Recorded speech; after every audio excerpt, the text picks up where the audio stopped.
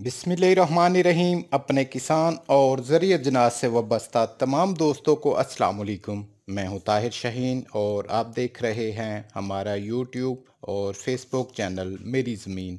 उम्मीद करता हूँ आप सब खैरियत से होंगे। दोस्तों, आप जानते हैं कि डेली बेसिस पर पाकिस्तान के मुख्तलिफ़ शहरों, ख़ास तौर पर पंजाब के मुख्तलिफ़ शहरों से गला मंडी इजनास के रेट शेयर किए जाते हैं।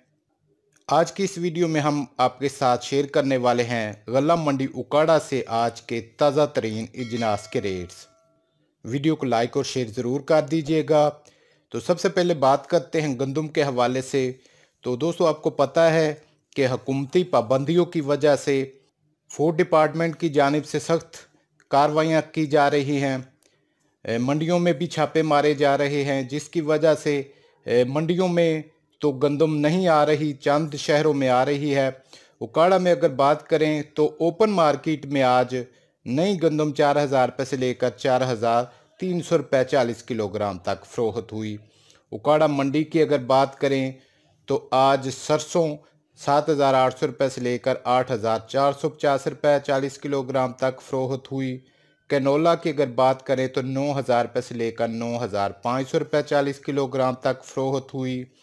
मक्की की अगर बात करें तो आज उकाड़ा गला मंडी में अट्ठाईस सौ पचास रुपये से लेकर बत्तीस सौ रुपये चालीस किलोग्राम तक फ़रोहत हुई।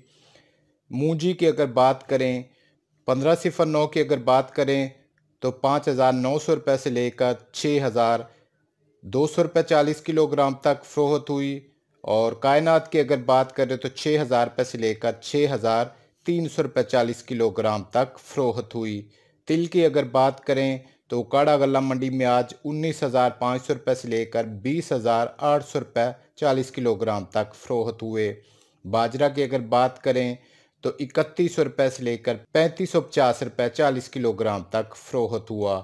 और लाल जवार की अगर बात करें तो काड़ा गला मंडी में आज पाँच हज़ार एक सौ रुपये से लेकर पाँच हज़ार चार सौ पचास रुपये चालीस किलोग्राम तक फ़रोहत हुई।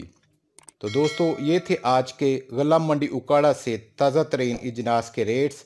वीडियो को लाइक और शेयर ज़रूर कीजिएगा। नेक्स्ट वीडियो में इंशाल्लाह नए रेट्स और नई मालूम के साथ आपकी खिदमत में फिर से हाज़िर होंगे। तब तक के लिए इजाज़त दीजिए। अल्लाह हाफिज़।